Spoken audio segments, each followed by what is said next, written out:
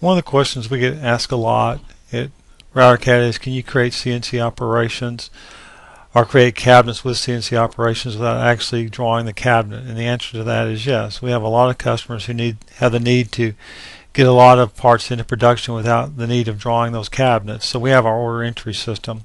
In this portion of the program here, you define your CNC operations for the cabinets. It can be bores, it can be blind dados, it can be Rafix fasteners, it can be regular dado construction. You define as many different CNC operations as necessary and you can combine those all into one one order entry system. Here I'm going to go ahead and select a base cabinet. We'll go in and select a standard base. I'm going to type in the quantity of a base cabinet. Let's just say we need five of those. Uh, we'll apply cabinet number to it, define the width at 33 and a half inches, specify the height, the depth, and I'm going to apply a CNC method here, commercial Euro. I'm also going to select a material set. We'll make these out of white melamine. And I'm going to tell it to add that to the grid. I'm going to close this. Now we'll go to the upper uh, cabinets. I'm just going to select a standard upper. Let's also tell it we need five of these.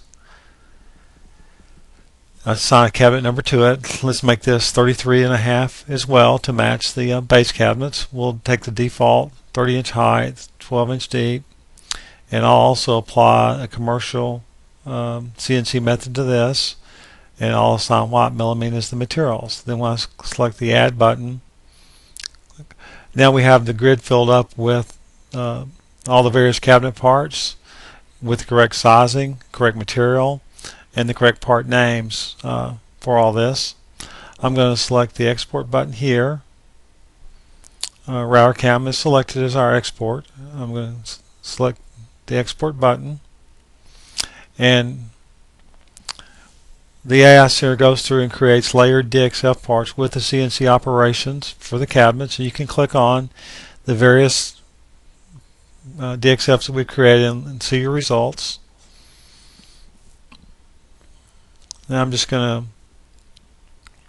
close out of this. Uh, we'll go into RouterCAD into the uh, nesting portion of RouterCAD Select import.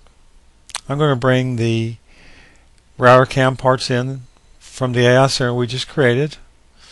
This is your pair gap. I'm just going to accept the default pair gap setting for the parts.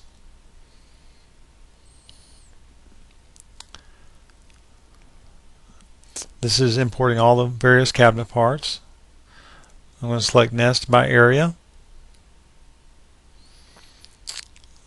Our nesting program goes through and nest all the parts and different parts with different materials are put on various sheets according to what's defined in our material catalog.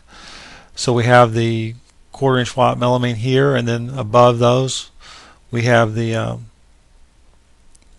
the three quarter inch white melamine for all the cabinet parts, all your ends, tops, bottoms, adjustable shelves. We'll go to G-code main and this is a preview of what we just looked at. I'm just going to close this off and we'll select display code and you actually see RouterCAM going in creating all your G-code and doing all your line boring uh, for the various uh, sheets of material selected and that's the way you can create a uh, lot of cabinet parts without drawing one cabinet. Thank you very much for your time.